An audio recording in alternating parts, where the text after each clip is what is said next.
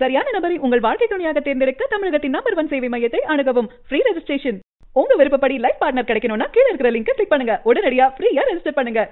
Headlines TV நேயர்களுக்கு வணக்கம். நான் ஜோதிடர் பாரதி ஸ்ரீனிவாசன். உலகெங்கிலும் உள்ள ஹெட்லைன்ஸ் டிவி நேயர்களுக்கு இனிய ஆங்கில புத்தாண்டு நல்வாழ்த்துக்கள். இன்று சார்வரை வருடம் மார்கழி பதிமூணாம் நாள். டிசம்பர் முப்பதாம் தேதி திருவாதிரை அன்று சிவனுக்கு உகந்த ஆருத்ரா தரிசனம் நடைபெறும் நாள். திருக்கணிதப்படி இந்த வார கிரகநிலைகள். மேஷத்தில் செவ்வாய் ரிஷபத்தில் சந்திரன் ராகு விருச்சிகத்தில் சுக்ரன் கேது தனுசில் சூரியன் புதன் மகரத்தில் சனி குரு. நிறைய அன்பர்கள் தொலைபேசி மூலமாக எங்களை காண்டாக்ட் பண்ணதுக்கு ரொம்ப நன்றி. ஆனால் நீங்கள் வந்து நீங்கள் சொல்கிற பலன் ஒரு மாதிரி இருக்குது ஆனால் எங்களுக்கு வேறு பலன் நடக்குது. சொல்கிறதுக்கு எல்லாம் ஆப்போசிட்டாக நடக்குது அப்படின்னு சொல்கிறீங்க இது வந்து பொது பலன் மட்டும்தான். ஏன்னா நாட்டில் நிறைய பேருக்கு வந்து விருச்சிக ராசியாக இருக்கலாம் நிறைய பேருக்கு தனுசு ராசியாக இருக்கலாம். எல்லாருக்குமே எல்லாம் பொருந்தாது. அது நீங்கள் வந்து பிறந்த கால ஜாதகத்தில் உங்கள் லக்னம் எங்கே இருக்குது உங்கள் நீங்கள் மற்ற கிரகங்கள்லாம் எந்த இடத்துல இருக்குது உங்களுக்கு என்ன தசாபத்தி நடக்குது? இதை வச்சு தான் உங்களுக்கான பலன் வந்து சொல்ல முடியும். உங்களுக்குரிய பலனை நீங்கள் தெளிவாக தெரிஞ்சுக்கணும் அப்படின்னா உங்களுக்கு யார் உங்களுக்கு நம்பிக்கையான ஜோசியரோ நீங்கள் அவங்கள்ட்ட காமிச்சு உங்களோட பலன்களை நீங்கள் தெரிஞ்சுக்கலாம். இது வந்து பொது பலன் மட்டும்தான். இது வந்து ஒரு ஒரு தனிநபருக்கான பலன்கள் கிடையாது. பொதுவாக எல்லாருக்குள்ள ஒரு பலன் மட்டும்தான். உங்களுக்கான பலன் நீங்கள் வேணும்னா உங்கள் சுய ஜாதகத்தை நீங்கள் ஒரு நல்ல ஜோசியத்தை காமிச்சு அவங்கள்ட்ட நீங்கள் ஒரு கன்சல்டேஷன் பண்ணி நீங்கள் அதுக்கான ஒரு இதை தெரிஞ்சுக்கோங்க. உங்கள் பிறந்த ஜாதகத்துக்கான பலனை தெளிவாக தெரிஞ்சுக்கணுன்னா நீங்கள் உங்களுக்கு தெரிஞ்ச ஒரு ஜோசியர்கிட்ட நீங்கள் போய் உங்கள் பா ஜாதகத்தை காமிச்சு அதுக்கான பலனை தெரிஞ்சுக்கோங்க. இது ஒரு பொது பலன் மட்டும்தான். இது வந்து தனிநபருக்கான பலன்கள் அல்ல. அடுத்து ஒரு ஆன்மீக தகவல். ஆருத்ரா தரிசனம் எப்படி வந்ததுன்னு பார்ப்போம். மார்கழி மாதத்தில் ஆருத்ரா தரிசனம் வருது வைகுண்ட ஏகாதேசியும் ஆருத்ரா தரிசனம் தான் முக்கியத்துவம் பெறுது இந்த மார்கழி மாதத்தில் இதில் இப்போது இந்த ஆருத்ரா தரிசனம் எப்படி வந்ததுன்னு பார்ப்போம் ஒரு முறை முனிவர்கள் வந்து ஒன்று கூடி சிவபெருமானுக்கு எதிராக ஒரு வேள்வி நடத்தினாங்க. அதாவது அவங்களோட கோட்பாட்டின்படி கர்மா தான் பெருசு கடவுள் கிடையாது அப்படின்னு சொல்கிறதுக்காக இந்த வேள்வி நடத்தினாங்க.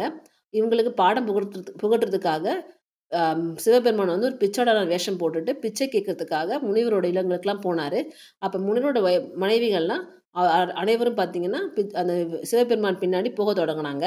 அதனால் கோவம் அடைஞ்ச முனிவர்கள் வந்து அந்த வேள்வி தீயிலிருந்து யானை மானு உடுக்க முயலகன் தீப்பிழம்பு எல்லாத்தையும் ஒன்றா கொண்டு வந்து அதை அனைத்தையுமே சிவபெருமான் மேலேயே விட்டாங்க. அவருக்கு அவர் தான் கடவுளாச்சு. அவர் என்ன பண்ணாருன்னா மத யானையை கொன்று மானை அதை உடம்ப தரைச்சிக்கிட்டார் அதே மாதிரி மானு உடுக்கு அக்னி எல்லாத்தையுமே எடுத்துக்கிட்டு அந்த முயலகன் மேலே ஒரு காலை ஊனி ஒரு கா அதாவது வலது காலை ஊனி இடது காலை தூக்கியப்படி நடனம் ஆடி உலகத்து உலகத்துக்குமே முனிவர்களுக்கும் கடவுள் தான் பெருசுன்றதை உலகத்துக்கு உணர்த்தினார்.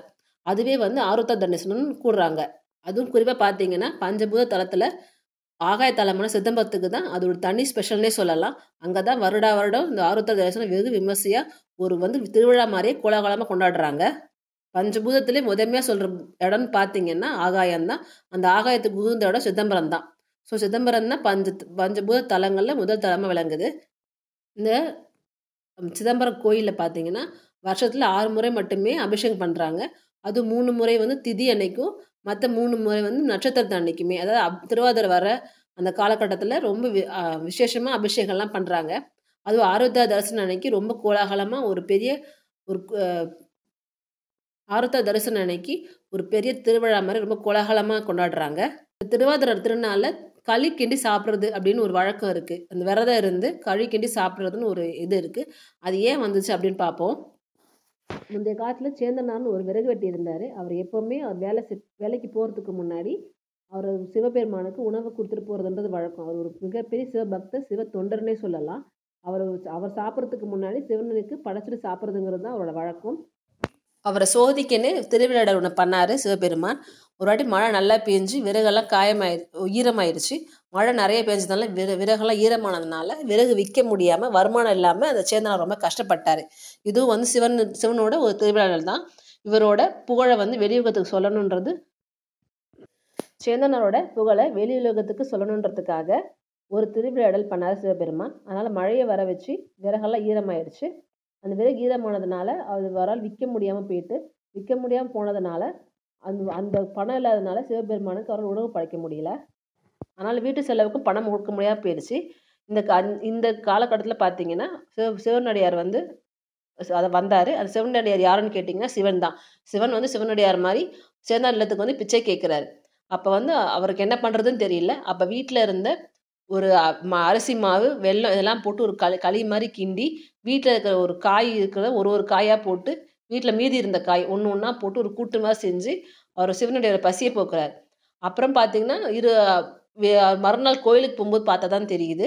அந்த பகவான் கருவறையில் வந்து நேற்று சாப்பிட்ட அந்த களியும் அந்த கூட்டு செதறி கிடந்துச்சு. என்னோட பக்தி எவ்வளோ பெருசு அப்படின்னு அந்த அர்ச்சகர் உணர்றாரு. அந்த அதன் அதன் மூலியமாக அந்த அர்ச்சகர் மூலியமாக அந்த நாட்டு மக்களுக்கு எல்லாமே தெரியுது. சேந்தனார் வந்து இவ்வளோ ஒரு சிவபக்தர் இவ்வளோ பெரிய சிவத்தொண்டர்னு தெரியுது. அதன் மூலம்தான் நீங்கள் ஆருத்ரா அன்னைக்கு விரதம் இருந்து அரிசிங்களை தின்னி இந்த அரிசிகளை செஞ்சு இதன் மூலமாக தான் இந்த களி சாப்பிட்றதுன்ற வ- இது வ- நடைமுறைக்கு வந்துச்சு. அன்னைக்கு ஆருத்ரா அன்னைக்கு விரதம் இருந்து இந்த ஆருத்ரா அன்னைக்கு விரதம் இருந்து இந்த அரிசி களியை சாப்பிட்டுட்டு நீங்கள் விரதத்தை முடிச்சிங்கன்னா இந்த வருஷம் ஃபுல்லாக உங்களுக்கு நல்லது நடக்குன்றது ஒரு ஐதீகம். பஞ்சபூத தலங்களுக்கு புண்ணிய ஸ்தலம் புண்ணிய யாத்திரை பஞ்சபூத தலங்களுக்கு புண்ணிய யாத்திரை போகணும்னு நினைக்கிறவங்க முதல்ல நீங்கள் சிதம்பரத்துக்கு தான் போகணும். ஏதாவது ஆகாய ஸ்தலம் அடுத்து காளகஸ்தி அடுத்து திருவண்ணாமலை அடுத்து திருவானைக்காவல் அடுத்து காஞ்சிபுரத்தில் இருக்க ஏகாம்பரேஸ்வரர் டெம்பிள் அல்லது வந்து திருவாரூரில் இருக்க தியாகராஜா கோயில். இதை இந்த மாதிரி நீங்கள் வரியில் நீங்கள் கடவுளை வேண்டிட்டு சுற்றுலா போயிட்டு வந்தீங்கன்னா கண்டிப்பாக உங்களோட வாழ்க்கையை தரம் மேம்படும் முன்னேற்றம் காணும் மனசு அமைதியாக இருக்கும். பிரச்சனைகள் எதுவும் இல்லாமல் உங்களோட வாழ்க்கை நல்லபடியாக அமையறதுக்கு நீங்கள் பஞ்சபூத தலங்களை வழிபட்டுட்டு வந்தீங்கனாலே வாழ்க்கையில் முன்னேற்றம் பிரச்சனைகள் எல்லாமே நம்- முடிஞ்சு நல்லதே நடக்கும். தனுசு ராசி அன்பர்களே இந்த வார தொடக்கத்தில் சந்திரன் உங்கள் ராசிக்கு ஆறாவது வீட்டில் இருக்கிறதுனால உங்களுக்கு கோபம் அதிகமாக இருக்கும். இந்த கோவத்தினால நீங்கள் உங்கள் ஆரோக்கியமும் பாதிக்கப்படும். அதனால் உங்கள் பிஸ்னஸும் கொஞ்சம் டல்லாகிறதுக்கான வாய்ப்புகள் அதிகம் இருக்குது இதனால் உங்கள் எதிரிகளும் உங்களுக்கு தொல்லை கொடுக்கலாம். அதனால் நீங்கள் வந்து கோவத்தை குறைச்சிக்கிறது நல்லது. கோவத்தை குறைச்சிக்கிட்டு உங்கள் வேலை நீங்கள் கவனம் செலுத்துங்க. கோவத்தால் எந்த ஒரு ப நல் பலனையும் பெற முடியாது. அதனால் கோவத்தை விட்டுட்டு உங்கள் உங்கள் பிஸ்னஸில் கான்சன்ட்ரேஷன் பண்ணுங்கள் அப்படி பண்ணீங்கன்னா கண்டிப்பாக ஒரு நல்ல வாரமாக அமையும். அப்படி இல்லைன்னா நீங்கள் கோவத்தை மட்டுமே பிரதானமாக வச்சுட்டு இருந்தீங்கன்னா உங்கள் தொழிலையும் சரி வேலையிலையும் சரி நஷ்டத்தை ஏற்படுறதுக்கான வாய்ப்புகள் அதிகம் இருக்கின்றதுனால கொஞ்சம் கவனமாக பார்த்து நடந்துக்கோங்க. உங்கள் ராசிக்கு ஏழாம் இடத்து சந்திரன் வரப்போ வியாபாரத்தில் இருக்கவங்களுக்கு ஒரு நல்ல பலன் அளிக்கலாம். ஏதாவது புது முயற்சி தொடங்கணும் அப்படின்னு நினச்சிங்கன்னா கண்டிப்பாக அதை தொடங்குனீங்கன்னா உங்களுக்கு ஒரு வெற்றிகரமாகவும் பணப்புழக்கம் அதிகமாகவும் இருக்கும். வீட்டில் ஒரு சுப நிகழ்ச்சி நடைபெறுவதற்கான வாய்ப்புகள் அதிகம் இருக்குது அதை நீங்கள் கலந்துக்கிறதுக்காக நீங்கள் தான் அதை முன்னின்று நடத்துறதுக்கான வாய்ப்புகள் அதிகம் இருக்குது உங்கள் வாழ்க்கை உங்களை முழுமையாக ஆதரிப்பாங்க. அவங்க சொல்கிற விஷயங்களை நீங்கள் கேட்டு நடங்க. அவங்க எப்போவுமே நல்லது தான் சொல்லுவாங்க. சப்போஸ் தவறுதலாக இருந்தால் சொல்லி புரிய வைக்கலாம். இது தவறாக இருக்குது எடுத்து இந்த சொல்லி சஜஷனை எடுத்துக்க முடியாது அப்படின்னு நீங்கள் சொல்லி புரிய வைக்கலாம். அப்படி இல்லாத பட்சத்தில் அவங்க சொல்கிறது சரியாக இருந்தால் கண்டிப்பாக அதை நீங்கள் நடந்துக்கோங்க. அவங்க ஏதாவது ஒரு விஷயம் கேட்டாங்கன்னா அது கண்டிப்பாக பண்ணி கொடுங்க. அதை பண்ணாமல் இருந்தாலுமே பிரச்சனை ஆகும் ஏதாவது ஒரு ஒரு கணவனாக இருந்தால் மனைவி வந்து ஏதாவது வாங்கி கொடுக்கணும்னு கேட்குறாங்க அப்படின்னா கண்டிப்பாக அதை நீங்கள் செய்யுங்க. அவங்க என்ன கேட்குறாங்களோ அதை வாங்கி கொடுத்துருந்தீங்கன்னா எந்த பிரச்சனையும் இல்லாமல் இருக்கும்.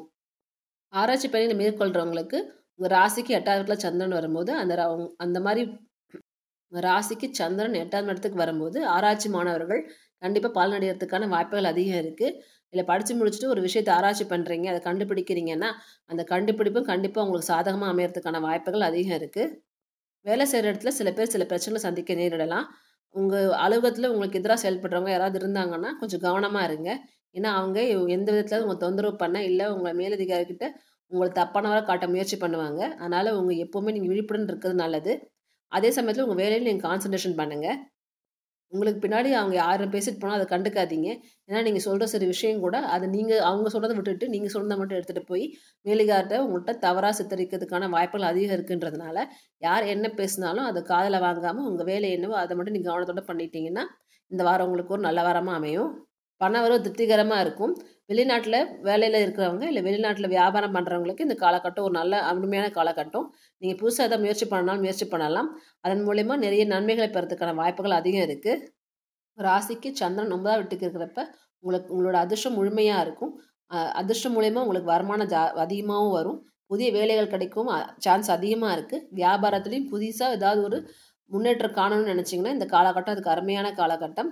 நீ புதுசாக ஒரு முயற்சியை பண்ணலாம். புது தொழில் தொடங்குறவங்களும் இந்த காலகட்டம் நல்லா இருக்குது புது தொழில் தொடங்குறவங்களும் இந்த காலகட்டத்தில் தொடங்க ஆரம்பிக்கலாம். புனித யாத்திரை போகணும்னு நினைக்கிறவங்க இந்த காலகட்டத்தில் புனித யாத்திரை மேற்கொண்டீங்கன்னா உங்களுக்கு நல்ல பலனை கொடுக்கும். பொதுச்சேவையில் இருக்கவங்களுக்கு மரியாதையும் கௌரவம் அதிகமாக இருக்கும். மாணவர்கள்னு பார்த்தோம்னா அவங்க கொஞ்சம் கவனமாக படிக்க வேண்டிய காலகட்டம். கொஞ்சம் கவனச்சித்திரம் இல்லாமல் எனக்கு கா- பாடத்தை கவனமாக படித்து வந்தாங்கன்னா இந்த வாரம் உங்களுக்கு மாணவர்களுக்கு ஒரு அருமையான வாரமாகவே அமையும். இந்த ஒரு காரியத்தை செய்யறதுக்கு முன்னாடி குரு பகவான் மனசை நினச்சி செஞ்சால் ரொம்ப நல்லா வல்ல வாரமாக அமையும். முடிஞ்சவங்க தஞ்சாவூருக்கு பக்கத்தில் இருக்க தென்திட்டை குருஸ்தலத்துக்கு போயிட்டு வந்தீங்கன்னா இன்னும் மேலும் பல நன்மைகள் உங்கள் வாழ்க்கையில் வரும். அப்படி கோ போக முடியாத பட்சத்தில் பக்கத்தில் இருக்க சிவன் கோயில் இருக்கிற நவகிரக குருவுக்கு நீங்கள் தினமும் விளக்கு போட்டுட்டு வந்தீங்கன்னா இந்த வாரம் இன்னும் மேலும் ஒரு நல்ல வாரமாக அமையறதுக்கான வாய்ப்புகள் அதிகம் இருக்குது ரோட்டோரத்தில் இருக்கிற மக்களுக்கு இந்த குளிர்காலத்தில் கம்பளி போர்வையை நீங்கள் தானமாக கொடுத்தீங்கன்னா உங்களோட தொழிலும் வாழ்க்கையும் முன்னேற்றம் அடைகிறதுக்கான வாய்ப்புகள் அதிகம் இருக்குது அது மாதிரி அனாதாசிரமத்துக்கும் நீங்கள் தான தர்மங்கள் பண்ணீங்கன்னா இந்த வாரம் இந்த வாரம் மட்டும் இல்லாமல் எப்பொழுதுமே உங்களுக்கு ஒரு முன்னேற்றமான காலமாகவே இருக்கும்.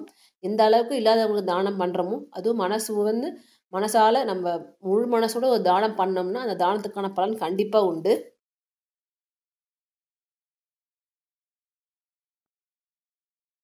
அதனால் எந்த ஒரு தானத்தையும் முழு மனசோட பண்ணுங்கள் தர்மம் தலைக்காக்குன்னு சொல்லுவாங்க. நீங்கள் பா பண்ணுற தான தர்மம் கண்டிப்பாக உங்களையும் உங்கள் வம்சத்தையும் கண்டிப்பாக காமி கா தர்மம் தலைக்காக்குன்னு சொல்லுவாங்க. நீங்கள் பண்ணுற தான தர்மம் கண்டிப்பாக உங்களையும் உங்கள் மக்களையும் உங்கள் குடும்பத்தையும் கண்டிப்பாக வந்து பாதுகாக்கும். அதனால் நீங்கள் முடிஞ்ச அளவுக்கு தான தர்மம் பண்ணுங்கள்